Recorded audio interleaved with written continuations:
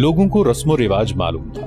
वो हथियारों के बगैर बाहर आ गए, औरतें और बच्चे भी निकल आए। खालिद रज़ी अल्लाह ने अपने दस्ते को हुक्म दिया कि हर घर के अंदर जाकर देखें, कोई आदमी अंदर न रहे। खालिद रज़ी अल्लाह ने खास तौर पर हुक्म दिया कि किसी घर में किसी चीज़ को हाथ न लगाया जाए, न किसी पर हल्का सा भी तशद किया जाए।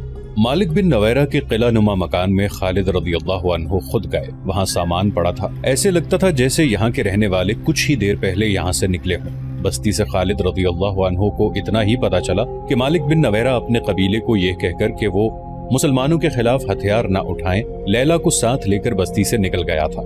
जिन्होंने उसे जाते देखा था, उन्होंने समत बताई जिधर वो गया था। मालिक घोड़े पर और लैला ऊँट पर सवार थी।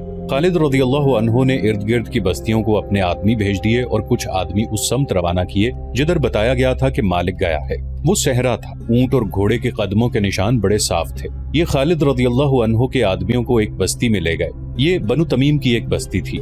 ए बनु तमीम, खालिद रदी अल्लाह के आदमियों में से एक ने बुलंद आवाज़ से कहा, मालिक बिन नवैरा को और बताह का कोई और आदमी जो यहाँ छुपा हुआ हो, उसे हमारे हवाले कर दें। अगर वो हमारी तलाशी पर मिले तो इस बस्ती को आग लगा दी जाएगी।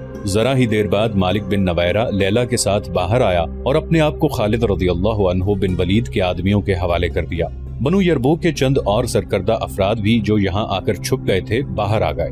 इन सबको मालिक बिन नवैरा के साथ बताह ले आए। लैला भी साथ थी। मालिक बिन नवैरा, खालिद रदी अल्लाह ने मालिक को अपने सामने बुलाकर पूछा, क्या ये गलत है कि तुमने जक़ात और महसूल मदीने को भेजने की बजाय लोगों को वापस कर दिए थे? मैं अपने कबीले को ये कहकर निकला था कि मुसलमानों का मुकाबला न करना। मालिक बिन नवैरा ने जवाब दिया, और मैंने उन्हें ये भी बताया था कि मुसलमान हो जाओ और जक़ात अदा करो, और तुम खुद इसलिए रूपोश हो गए थे कि तुम इस्लाम से मुनहरिफ हो गए थे। खालिद रज़ी अल्लाह ने कहा, और तुम मुनहरिफ ही रहना चाहते हो? तुमने अपने शेरों में लोगों से कहा था कि वो जक़ात और महसूल अदा न करें, और तुमने उन्हें कहा था कि इस्लामी हुकूमत के अहकाम की तुम खिलाफ वर्जी करोगे, जो तुमने की।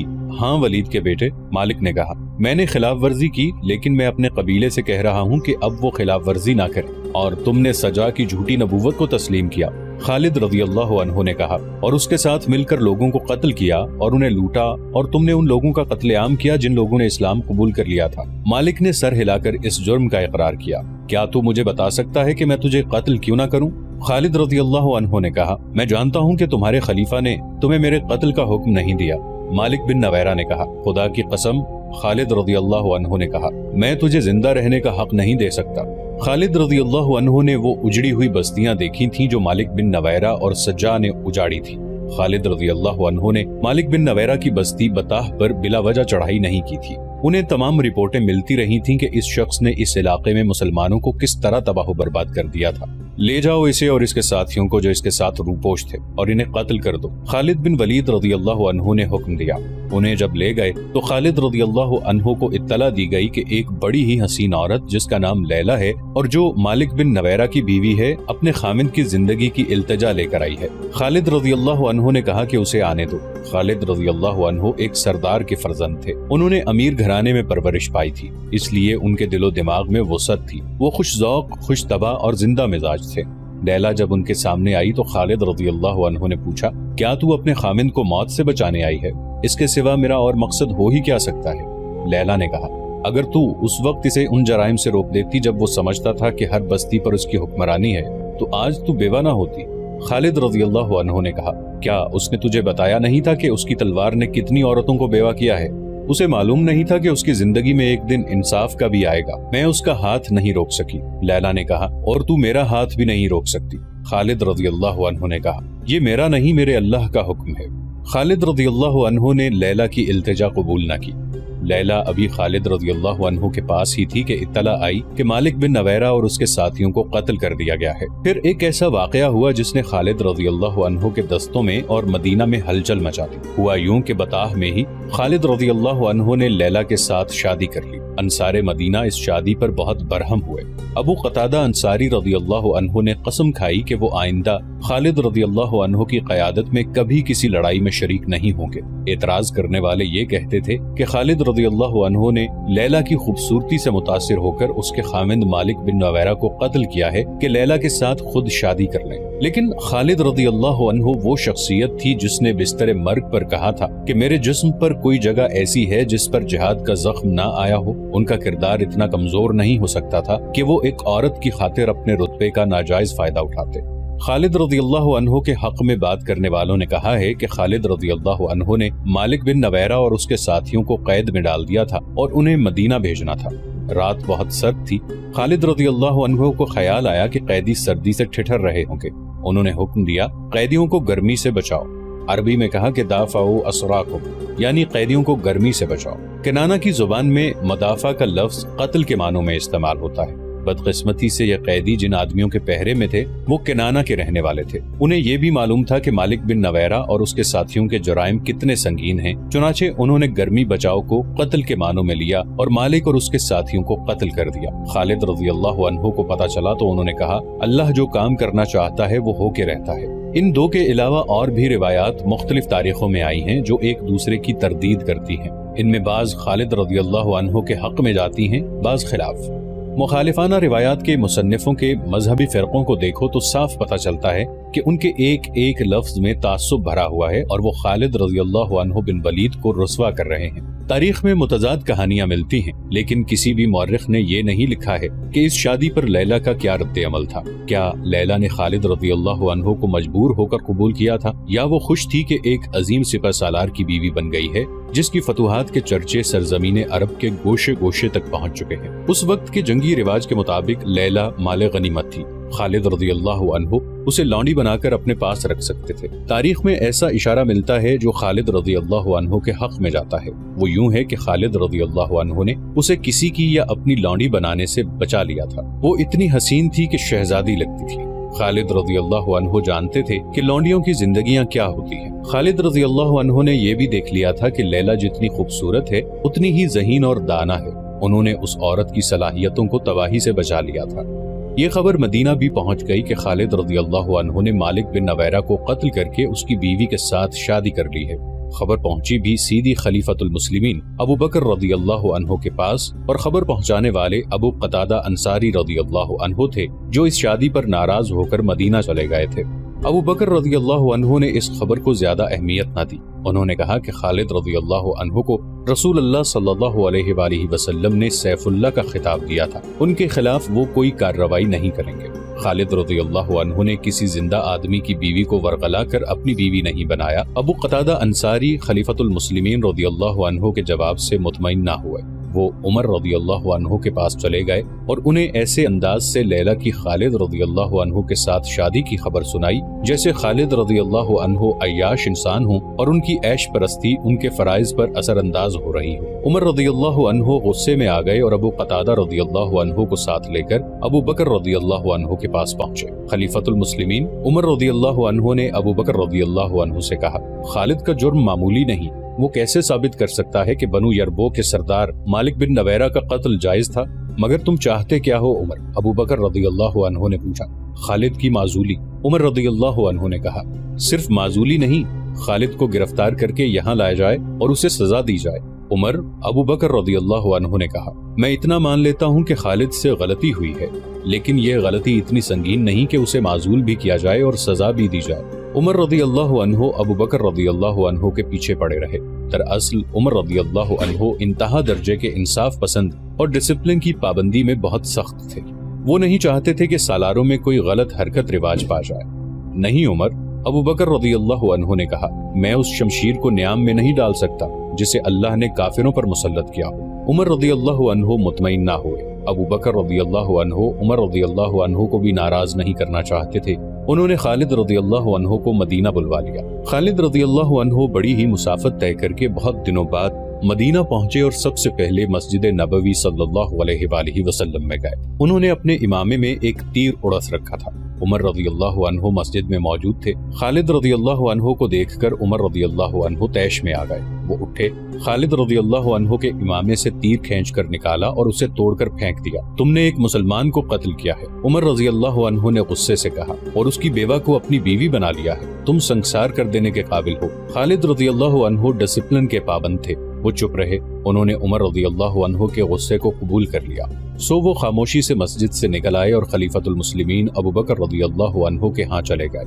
उन्हें अबू बकर रदी अल्लाह ही ने जवाब तलबी के लिए बुलाया था। अबू बकर रदी अल्लाह के कहने पर खालिद रदी अल्लाह ने मालिक बिन नवैरा के तमाम जराइम सुनाए और साबित किया कि वो मुसलमान नहीं, बल्कि मुसलमानों का दुश्मन था। अबू बकर रदी अल्लाह खालिद रदी अल्लाह से बहुत खफा हुए और उन्हें तंबीह की कि आइंदा ऐसी कोई हरकत न करें जो दूसरे सालारों में गलत रिवाज का बायस बने। अबू बकर ने तिबरी और हैकल के मुताबिक फैसला सुनाया कि मफतूहा कबीले की किसी औरत के साथ शादी कर लेना और इद्दत का अरसा पूरा न करना अरबों के रिवाज के एन मुताबिक है। इस औरत को आखिर लॉन्डी बनना था। ये उसके आका की मर्ज़ी है कि उसे लॉन्डी बनाए या उसे निकाह में ले ले। अबू बकर रदी ने अपने फैसले में कहा कि इस वक्त मुसलमान हर तरफ़ से खतरों में गिरे हुए हैं, कबीले बागी होते जा रहे हैं। अपने पास नफरी बहुत थोड़ी है। इन हालात में अगर कोई सालार दुश्मन के किसी सरदार को गलती से कत्ल करा देता है तो ये संगीन जुर्म नहीं। उमर रदी अल्लाह को खलीफतुल मुस्लिमीन अबू बकर रदी अल्लाह ने ये कहकर ठंडा किया कि इस्लाम का एक बहुत बड़ा दुश्मन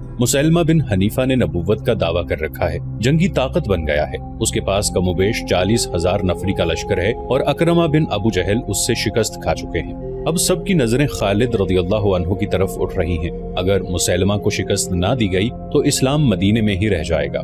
इस कामयाबी के लिए सिर्फ़ खालिद रज़ी अल्लाह मौजू है। उमर रज़ी अल्लाह खामोश रहे, उन्हें भी इन खतरों का एहसास था। अबू बकर ने खालिद रदी अल्लाह को हुक्म दिया था कि फ़ौरन बताह जाएँ और वहाँ से यमामा पर चढ़ाई करके उस फितने को खत्म कर दें। खालिद रदी अल्लाह एक बहुत ही बड़ी, खतरनाक जंग लड़ने के लिए रवाना हो गए। दिसंबर छह सौ बत्तीस ईस्वी शवाल ग्यारह हिजरी के तीसरे हफ़्ते में खालिद रदी बिन वलीद ने तेरह हज़ार मुजाहिदीन से मुर्तद्दीन के चालीस हज़ार से जायद लश्कर के खिलाफ यमामा के मुकाम पर वो जंग लड़ी, जिसे इस्लाम की पहली खूनरेज जंग कहा जाता है। इस जंग का आखिरी मार्का एक वसी बाग हदीकत रहमान में लड़ा गया था। वहाँ दोनों तरफ़ इस कदर जानी नुकसान हुआ था कि हदीकत रहमान को लोग हदीकतुल मौत यानी मौत का बाग कहने लगे। आज तक इसे हदीकतुल मौत कहा जाता है। उस वक्त खालिद रदी अल्लाह मदीना में थे। उन्हें खलीफतुल मुस्लिमीन अबू बकर रदी अल्लाह ने उमर रदी अल्लाह की उस शिकायत पर जवाब तलबी के लिए मदीना बुलाया था कि उन्होंने मालिक बिन नवैरा को कत्ल करा के उसकी बीवी लैला के साथ शादी कर ली थी।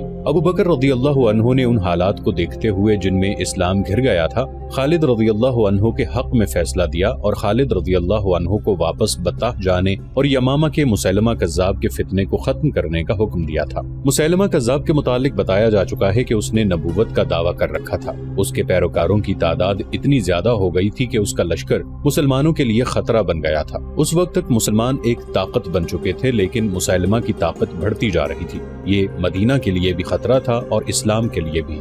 मदीना सल्तनत इस्लामिया का मरकज था। खालिद रज़ी का लश्कर बत्ताह में था। वहीं उन्होंने मालिक बिन नवैरा को सजाए मौत दी और उसकी बीवी लैला के साथ शादी की थी। लेकिन लैला वहीं थी।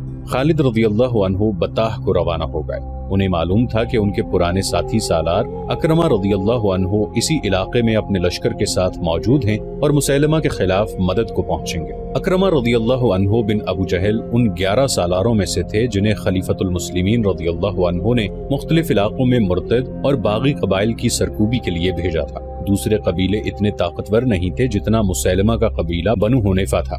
इसलिए उस इलाके में अक्रमा रज़ी अल्लाह को भेजा गया। उनके पीछे पीछे एक और सालार, शर्जील रज़ी अल्लाह बिन हसना को भेज दिया गया। खलीफा अबू बकर रदी अल्लाह ने शर्जील रज़ी अल्लाह को ये हुक्म दिया था कि वो अक्रमा रदी अल्लाह को मदद देंगे।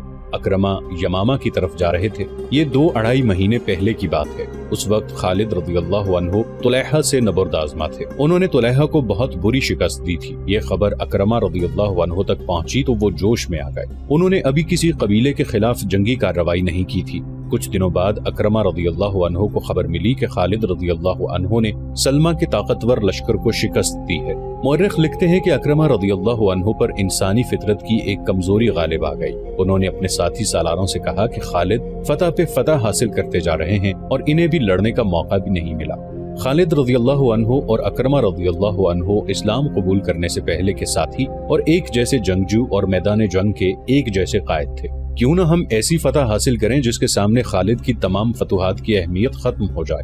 अक्रमा रदी अल्लाह ने अपने मातहत सालानों से कहा, मुझे इत्तला मिल चुकी है कि शर्जील बिन हसना हमारी मदद को आ रहा है। मालूम नहीं वो कब तक पहुँचे। मैं ज़्यादा देर इंतज़ार नहीं कर सकता। मैं मुसलमा पर हमला कर दूँगा मुसलमा मामूली अकलो जहानत का आदमी नहीं था। उसे मालूम था कि मुसलमान उसकी नबूवत को बर्दाश्त नहीं कर रहे और किसी भी रोज इस्लामी लश्कर उस पर हमला कर देगा। उसने अपने इलाके के दिफा का बंदोबस्त कर रखा था, जिसमें देखभाल और जासूसी का इंतज़ाम भी शामिल था। अक्रमा रदी अल्लाह सोचे समझे बगैर बढ़ते गए और यमामा के करीब पहुँच गए। वो चूँकि जज्बात से मगलूब होकर जा रहे थे, इसलिए एहतियात न कर सके कि दुश्मन देख रहा होगा। उन्हें मुसैलमा के जासूसों ने देख लिया और मुसैलमा को इत्तला दी। एक और इलाके में, जहाँ ऊँचे टीले और टीकरियाँ थी, अक्रमा रज़ी अल्लाह को मुसैलमा के कुछ आदमी दिखाई दिए। अक्रमा रज़ी अल्लाह ने उन पर हमला कर दिया, मगर ये मुसैलमा का बिछाया हुआ जाल था। मुसैलमा ने वहाँ खासा लश्कर छुपा रखा था, जिसने दाएँ बाएँ से अक्रमा रदी अल्लाह के लश्कर पर हमला कर दिया। अक्रमा रदी अल्लाह इस गैर मुतव सूरत हाल में संभल न सके। मुसलमा के लश्कर ने उन्हें संभलने ही न दिया।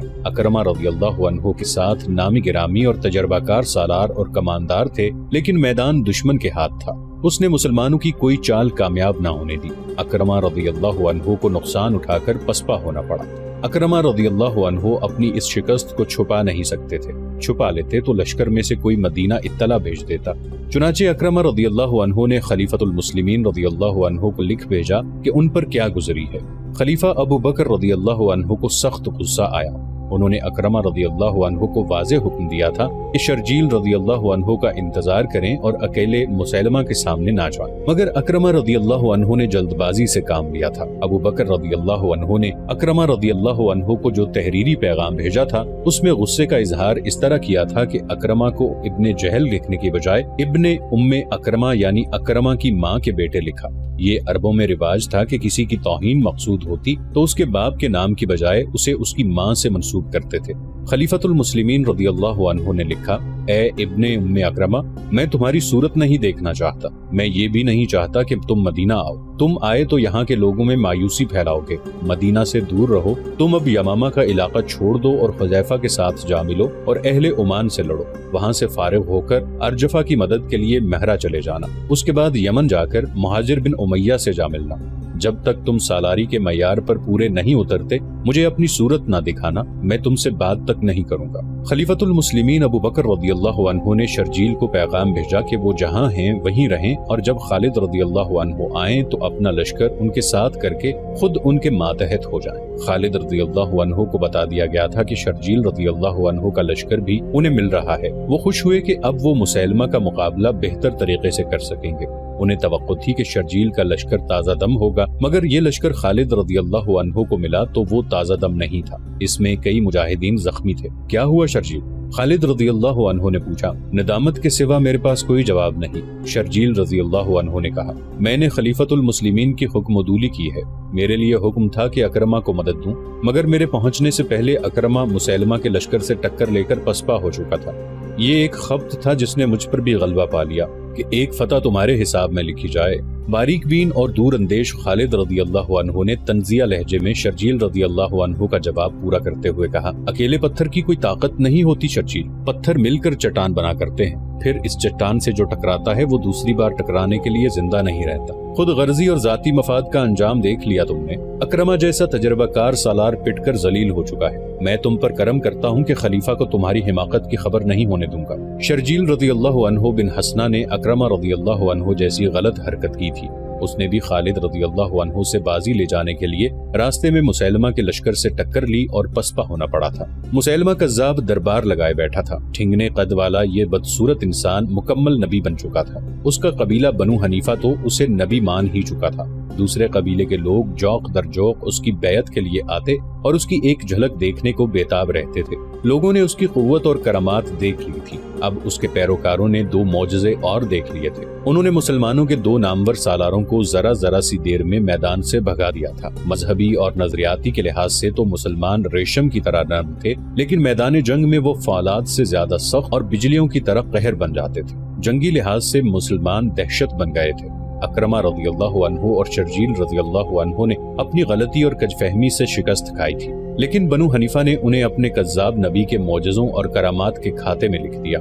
वो कहता था कि मुसलमानों को मुसलमा के सिवा कौन शिकस्त दे सकता है? निहारुर रिजाल, मुसलमा ने अपने पास बैठे हुए अपने दस्ते रास्त निहारुर रिजाल से कहा, अब हमें मदीना की तरफ़ कूच करने की तैयारी करनी चाहिए। मुसलमानों में अब वो दमखम नहीं रहा। पहले बयान हो चुका है कि निहारुर रिजाल बिन अनफोवा वो शख्स था जिसने रसूल करीम सल्लल्लाहु अलैहि वसल्लम के साय तले बैठकर कुरान पढ़ा और मज़हब पर अबूर हासिल किया था। और उसे मुबलग बनाकर मुसैलमा के इलाके में भेजा गया था, मगर उस पर मुसैलमा का जादू चल गया। उसने मुसैलमा की नबूवत का प्रचार शुरू कर दिया। आयात कुरानी को तोड़ मोड़ कर उसने उन लोगों को भी मुसैलमा का पैरोकार बना दिया जो इस्लाम कबूल कर चुके थे।